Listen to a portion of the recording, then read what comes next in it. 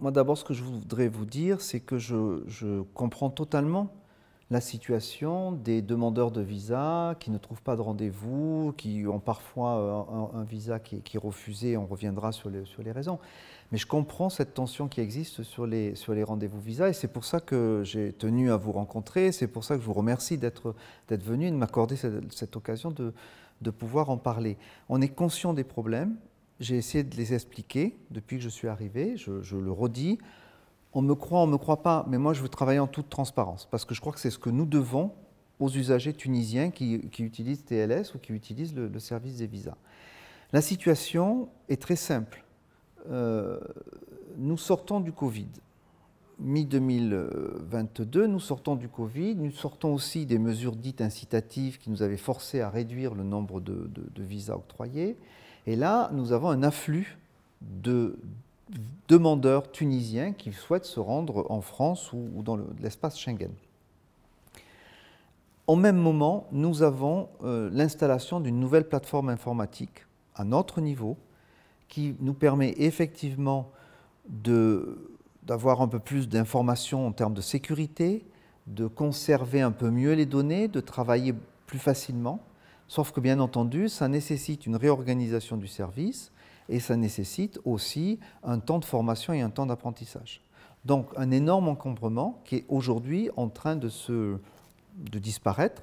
Nous avons retrouvé euh, depuis, euh, depuis une semaine à peu près un délai d'instruction qui est euh, incompressible, qui est un bon délai, c'est-à-dire qu'on met entre 10 jours, voire 15 jours au grand maximum, pour instruire le dossier, entre le moment où le dossier est déposé et le moment où on rend le passeport, c'est aujourd'hui une dizaine de jours.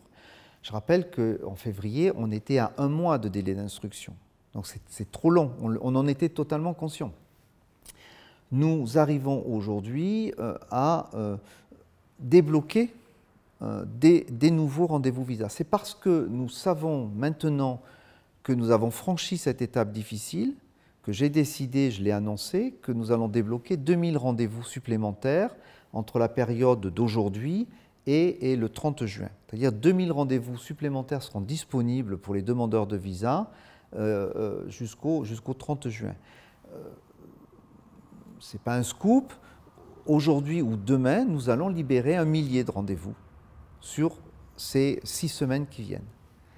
L'autre élément qu'il faut que les gens sachent, c'est que euh, les rendez-vous de juillet n'ont pas été ouverts.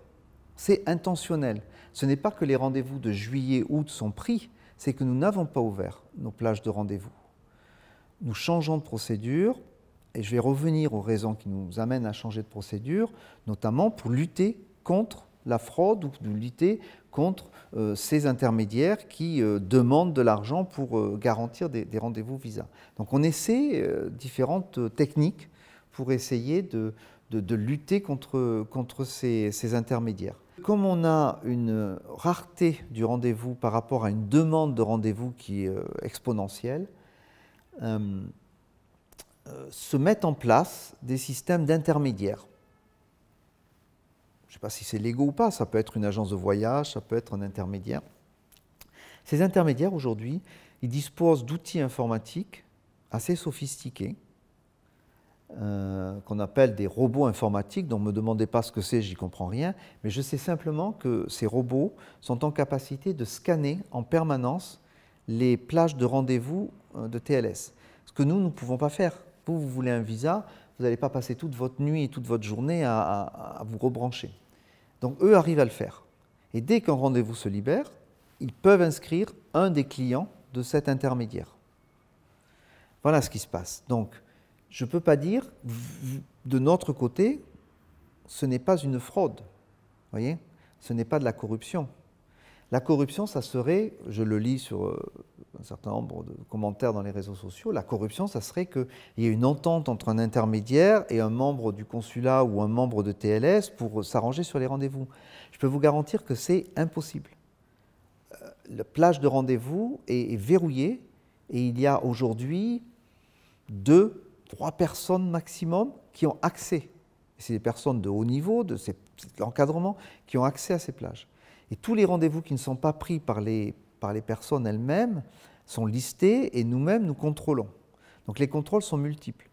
Il faut savoir ensuite que la prise de rendez-vous, tout comme d'ailleurs euh, le dossier, l'examen du dossier, sont effectués de façon aléatoire. C'est-à-dire que euh, si vous déposez une demande de rendez-vous, euh, vous n'êtes jamais sûr de tomber sur la bonne personne que vous connaissez à TLS. Ce n'est pas possible. Et même si c'est ça, vous n'êtes jamais sûr de tomber sur la bonne personne que vous connaissez au service des visas. Et d'abord, vous ne les connaissez pas puisqu'elles travaillent en toute confidentialité pour justement qu'on puisse garder cette neutralité, cette objectivité. Donc ce que je veux dire, c'est que la lutte contre la fraude, on la pratique tout le temps.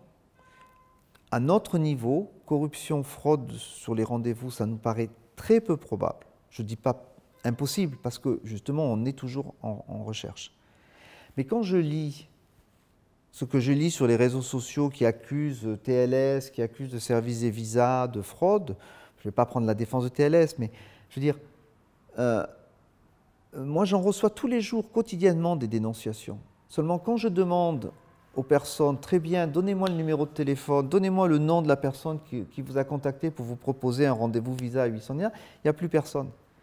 Comment voulez-vous que, nous puissions agir si on n'a toujours que des dénonciations anonymes et sans nom et sans preuve Ce que nous savons, c'est que dans d'autres pays, ça se passe comme ça. Donc nous pensons aussi que ça se passe comme ça. Et moi, je n'ai pas la capacité de l'arrêter. Est-ce que j'ai, moi, français, la capacité d'aller sur les trottoirs, euh, sur la voie publique euh, au lac 2 pour repérer quelques démarcheurs intermédiaires qui, proposent ça Peut-être ils ont une, licence professionnelle pour le faire, j'en sais rien. Ce n'est pas dans mon domaine de compétence, vous voyez, euh, c'est la souveraineté tunisienne là. Hein.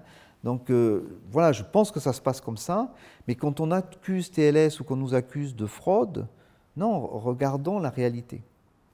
Et la réalité, c'est ce que je vous ai décrit en, totale transparence. Aujourd'hui, on, est sur quand même 650, quand on sera à plein régime, on sera, et avec les moyens que j'ai, on sera à 650, 700 rendez-vous par jour, ce qui est quand même important. Euh, si vous multipliez ça sur, euh, sur 20 jours, vous voyez ce que ça va donner. Quand on va libérer les rendez-vous de juillet, euh, on parle de 10 à 12 000 rendez-vous que nous allons libérer. Alors on ne va pas les libérer tout d'un coup. Après, c'est des techniques. Hein. Je ne veux pas rentrer dans le détail. Mais voilà, en gros, c'est ce qui nous a fait perdre un peu de temps. Aujourd'hui, on a rattrapé ces problèmes. Et normalement, ces éléments-là nous permettent aussi de mieux lutter contre, contre ce genre de, fraude ou d'arnaque au rendez-vous visa. Aujourd'hui, on retrouve progressivement les taux de refus que nous avions euh, auparavant.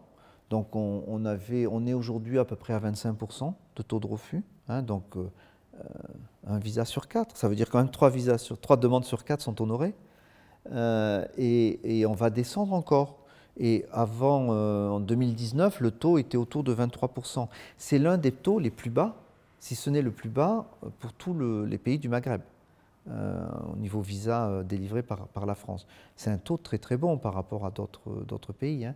Donc euh, là-dessus, on n'a pas de quota. Qu'est-ce qui fait que vous allez être, refusé? C'est lorsque, enfin, il y a un certain nombre de critères, mais que je ne vais pas rentrer dedans. Nous, pourquoi il y a, le visa, ça sert d'abord à lutter contre le risque sécuritaire, nettement amélioré, et puis contre le risque migratoire. Je veux dire, aujourd'hui, le risque migratoire, le risque d'une utilisation frauduleuse de visa par le détenteur du visa, elle touche toutes les catégories socioprofessionnelles de ce pays. Vous voyez? Donc euh, on est très très vigilant sur tout ça. Euh, et euh, donc voilà, donc ça c'est le, schéma sur le... Moi le, conseil pardon, que je, veux donner, c'est déjà d'avoir un dossier complet. Dans, je ne sais pas de pourcentage, mais dans de nombreux cas, les dossiers sont refusés parce qu'ils sont incomplets, voire pire, parce qu'ils ils contiennent des faux documents. J'ai des personnalités, enfin personnalités, des, personnes, disons, euh, de l'encadrement, dans des entreprises, dans la fonction publique, qui se permettent de nous mettre des faux, euh, attestations CNSS, des faux contrats de travail. Nous avons trouvé euh, des, fausses, euh, des faux diplômes. Je vous apprends rien. C'est à Nabel, je crois, hier ou avant-hier, que quatre personnes ont été arrêtées parce qu'elles produisaient des faux, fausse vignette visa, j'imagine, faux, faux documents. Tout ça, c'est extrêmement dangereux. C'est pas uniquement, il faut, bien comprendre les choses. Hein. Derrière une fausse vignette et un faux passeport, c'est un risque sécuritaire énorme, énorme. C'est pas uniquement la personne qui veut migrer. Et, c'est la personne qui, de toute façon, risque de se faire arrêter parce que les faux sont souvent très mal faits. Et à l'arrivée euh, à, la police de l'air et des frontières euh, en France, ils se font arrêter, euh, ils se font emprisonner parce qu'ils usent de faux et ensuite ils se font renvoyer vers leur pays. Donc moi, vraiment, la chose à faire, je sais que c'est difficile, hein, c'est de dire aux gens, ne passez pas par les intermédiaires qui vous proposent des rendez-vous. Ces gens-là vont vous dire, oui, on connaît quelqu'un à TLS, oui, on connaît euh, euh, le, quelqu'un au consulat. C'est faux. Parce que même s'ils connaissaient quelqu'un, on n'a pas les moyens. Moi-même, je n'ai pas le moyen de vous donner un rendez-vous visa. Vous voyez, je n'ai pas accès. Donc, tout ça, c'est faux. Ils vont payer très cher. On ne peut pas leur garantir le visa. Quand je passe à TLS, combien de fois j'arrive et on a des gens qui sont passés par des intermédiaires qui leur ont préparé un visa professionnel. Or, ils viennent chercher un visa touristique pour aller en vacances en France. La TLS les, refuse parce que ça ne correspond pas à leur demande. Donc ne vous faites pas, ne dépensez pas votre argent sur ça. Et par contre, aidez-nous à assécher ce marché clandestin du rendez-vous visa. Nous, nous allons faire notre effort. Il sera insuffisant. Il sera insuffisant parce que nous ne répondrons jamais à la demande totale de visa pour la Tunisie. Mais nous allons faire notre effort. Ce que je voudrais, c'est que les usagers aussi puissent nous aider en n'alimentant pas ces marchés parallèles, euh, voilà, où ils offrent un service, mais qui est hors de proportion par rapport au coût qu'ils demandent.